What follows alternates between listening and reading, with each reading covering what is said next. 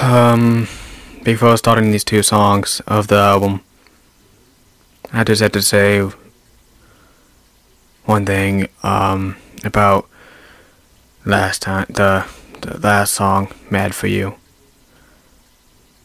I'm sorry for doing this, but I don't know how to let go. I don't know how to do anything about it.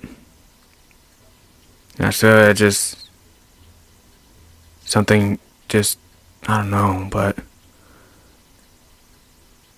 you know what I'm talking about. You know who who I'm talking about, but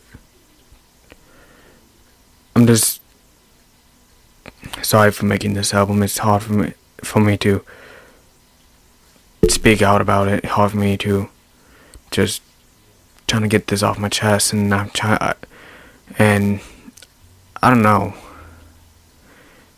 I'm not mad at you. I'm not anything about you. The song, but the title of the song, "Mad for You," means crazy for you. It's like a slang word for a different for like a different word for about it. It's like you know what I'm saying, but I hope you understand what I'm coming from in that song.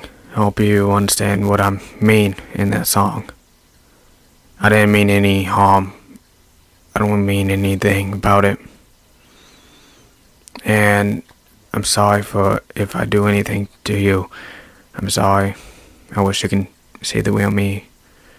Except the me that you see two years. I don't know, but it's odd. It's odd, man. It's odd.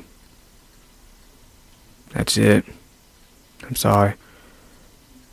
I'm gonna go. Enjoy the end of the album. Peace.